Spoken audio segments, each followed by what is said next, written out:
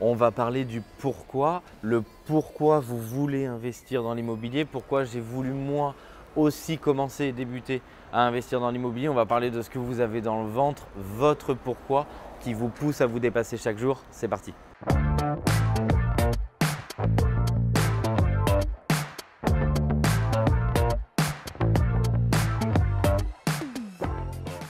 C'est un sujet qui est plus personnel parce que je vais vous parler du pourquoi.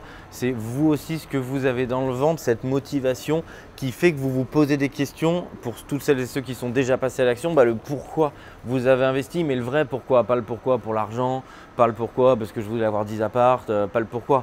Parce que quand vous avez déjà pour certains beaucoup d'appartements et que vous continuez à investir, euh, pour beaucoup, le pourquoi, il n'est pas uniquement basé sur l'argent, il est basé sur votre enfance, sur les réelles motivations qui font que vous voulez vous surpasser.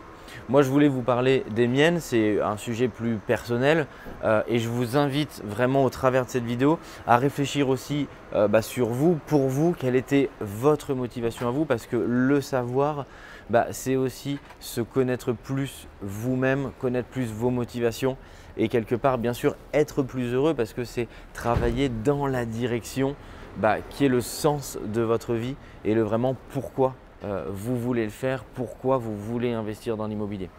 Euh, moi, j'ai commencé à travailler très jeune et en job d'été euh, tout le temps, puisque à partir du moment où j'ai eu le bac et même avant, j'ai tout le temps travaillé tous les étés. à partir du moment où j'ai eu le bac, j'ai commencé à travailler en apprentissage. J'ai fait mon bac plus 1, mon bac plus 2 chez Schneider Electric euh, directement. Ensuite, j'ai fait le plus 4 et le plus 5 dans une banque d'affaires en apprentissage quand j'étais en école de commerce. Euh, j'ai travaillé chez McDonald's, j'ai travaillé chez Carrefour euh, en remise en rayon, vraiment en opérationnel, hein, pas au siège de, Carrefour ou au siège de McDonald's, vraiment en, boutique puisque chez McDo dans les restos, j'étais à la caisse quand j'étais étudiant et chez Carrefour, je faisais de la remise en rayon, je faisais l'ouverture euh, du magasin. Je crois que c'était entre 4 et 5 heures du matin. D'ailleurs, ça ouvrait même encore un petit peu plus tôt, mais en tout cas bien avant et largement avant qu'il y ait des clients.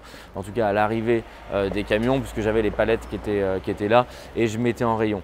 J'ai premièrement toujours aimé me surpasser.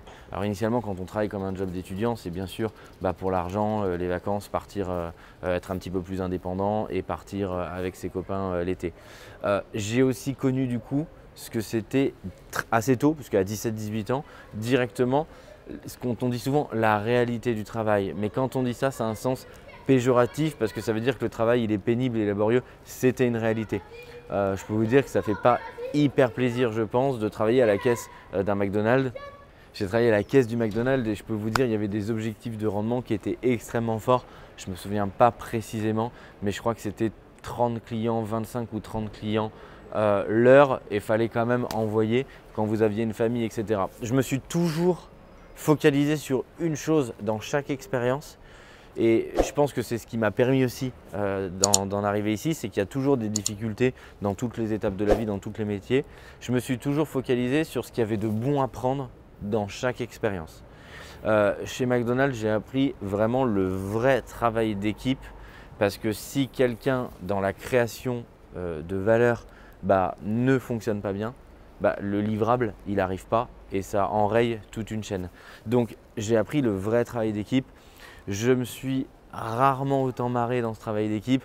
Je peux vous dire que les intégrations ou quand vous partez, que ça s'est bien passé, que vous êtes bien entretenu, on a fait des batailles de ketchup phénoménales aux fermetures des McDonald's. C'est des souvenirs que je garderai toute ma vie avec une équipe de jeunes. On avait tous 20 ans, on était tous insouciants, euh, on aimait tous bosser parce que tout allait bien euh, et on faisait, vraiment des trucs de gosse, mais qui euh, qui étaient vraiment des superbes souvenirs.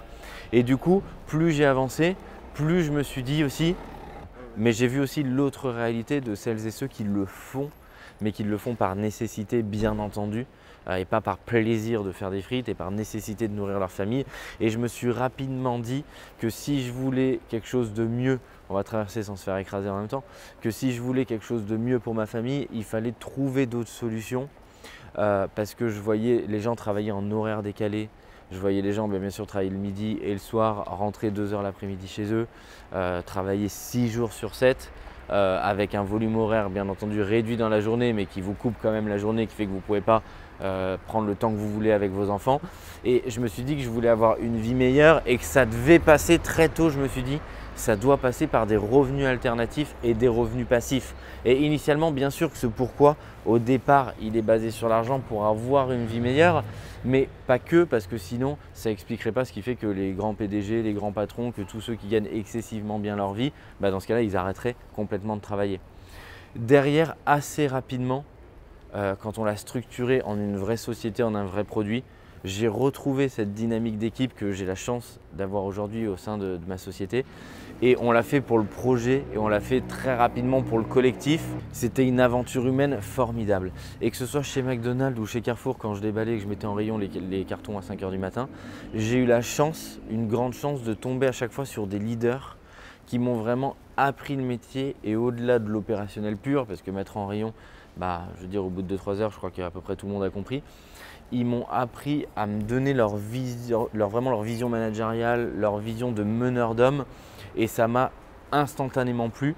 Et la réalité, c'est qu'un jour, j'avais envie d'être à leur place et envie moi-même de mener ma propre équipe vers le succès parce que c'est une récompense au-delà de l'argent que vous ne pouvez pas acheter, le fait d'être vraiment ce collectif et de pouvoir aller de l'avant ensemble en équipe.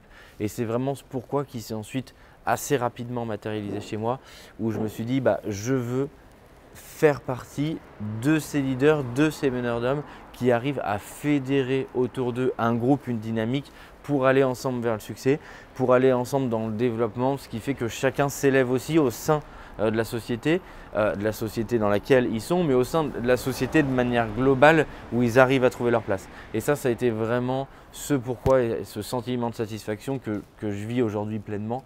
Et ça, ça a vraiment été ce qui m'a animé depuis le début. Je vous invite vraiment à mettre en commentaire de cette vidéo votre pourquoi. Je vous invite à y réfléchir parce qu'en fait, c'est un vrai sujet. Trop peu de monde n'y pense pas. On le fait soit parce que le voisin d'à côté, il le fait, il a investi, soit parce qu'on se dit, je veux un peu de sous. Et souvent, euh, la première volonté, bien sûr, c'est l'argent, mais derrière, il y a souvent quelque chose, euh, euh, peut-être passer plus de temps avec ses enfants. quand vous, vous avez été enfant et que vos parents peut-être travaillaient beaucoup et que vous ne les avez pas beaucoup vus, donner le meilleur à vos enfants, ne plus avoir envie de, de compter, pouvoir partir plus en vacances avec eux. Donc il y a vraiment ce côté du pourquoi que vous devez trouver, parce que si vous le trouvez, vous allez aussi arriver bah, à débloquer quelque chose en vous qui va faire que vous allez en plus déployer une énergie formidable. C'était une vidéo plus de mindset, j'espère euh, qu'elle vous a plu. Je suis persuadé que certains d'entre eux vont pouvoir réfléchir plus à leur pourquoi. Je vous souhaite de le trouver et je vous souhaite tout le succès que vous méritez. Ciao